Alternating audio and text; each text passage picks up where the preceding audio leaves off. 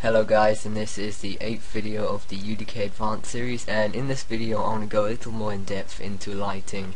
And by doing that I'm going to show you how to make your own flashlights. And as you can see here I've got like a little uh, room. It's got no lights in it uh, at all. I've made it that way just so you can see the full effectiveness of a flashlight.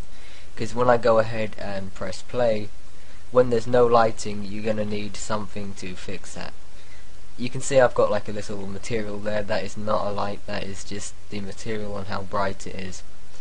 Okay so to start off uh, making a flashlight we're going to need something to move around. So what we're going to do is go to our content browser and go to actor classes and we're going to go for a spotlight movable. Uh, we wouldn't use toggleable or dominant spotlight or normal spotlight we need a movable one so it's dynamic and we can use it for this purpose. So I'm just going to go ahead and drag it into the game. And I'm going to pull it up slightly. Okay so we got our point light now. Let's drag that up a little bit more. So when you attach an actor to something like a player you want to make sure it's in the right place in the coordination with the player spawn. So I'm going to delete this one and I'm going to go back to my point light and put one right underneath it. So add actor and then player start. I'm going to pull this up slightly and then I'm going to match it up on my view up here. So I'm just going to drag it up a bit. And there we go. I reckon that's about right.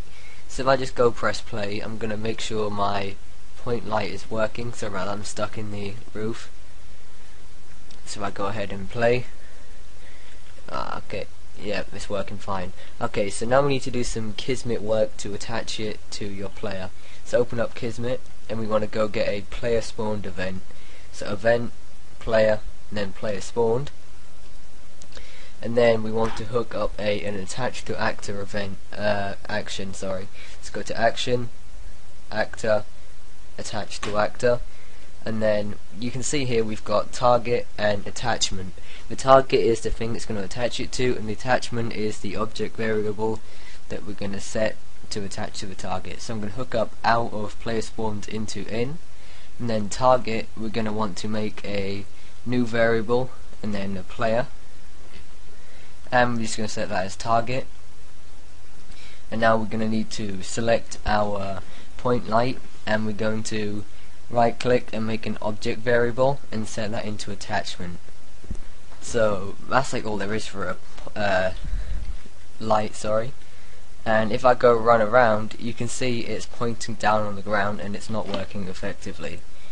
So as you can see on the player star it's got like a little direction line here.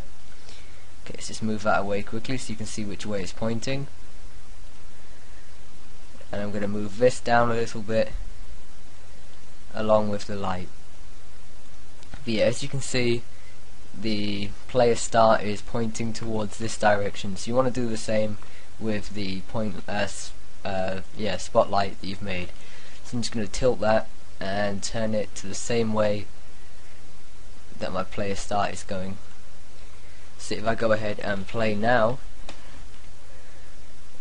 when I when I move around the point light is working perfectly fine. There is an alternative to doing it in Kismet and is a much better option because with this point light it doesn't move up and down but it only goes uh, left and right unless you use the fly console command which I'll show you now. And now if you do that you can make the light go all around you. so yeah, really what you want to do is basically do it all Kis uh, Unreal Script side rather than Kismet. Kismet is good, but it doesn't do everything you want to do. So yeah, you can change a couple of things around on that spotlight, like the angle at which it uses. So if you right click on the spotlight we've got, and then under properties, under spotlight component, we've got our outer cone angle and inner cone you don't really want to worry about inner cone, you just want to change your outer cone. So if you change the outer cone to something smaller, so let's say, I'm go you know I'm going to change this to 15, and you'll see it's somewhat smaller, and it will be more as if you got like a nice weak spotlight. Okay, So we look around, we got a little spotlight, but that isn't too effective and we can't see too much, so I'm going to change that to something around 22 even. And that should look a little bit more realistic. Uh, there we go, that's more of a decent spotlight now. Okay, you can change the color and brightness around. So I'm just going to change this to something somewhat red. And I'm going to set the brightness to 2. Whenever you're using with movable things, you want to make sure it's dynamic. That's set as default as it's a movable object. So if we go in the game now and move around, we've got like a nice ready, I don't know, zombie or blood effect for a point light, uh, spotlight, sorry. So run up to this, it won't change the material on this object here. But I'm just going to go ahead and build lighting and you'll see there isn't much difference because it's a dynamic light and you won't need to build lighting. The only lighting differences will be from the walls if I've somewhat moved those around or anything like that. I'm sorry building lighting takes so long for me because uh, I'm using like multiple screens at the moment. It takes up a fair bit of uh, memory, so let's go ahead and play again. And that's looking perfectly fine. So thanks for watching, comment, like and subscribe and sometime later today I'm going to be doing an interview with the CEO of Panzer Games while playing his game Left 4 Rot which comes out sometime in August. So thanks for watching and goodbye.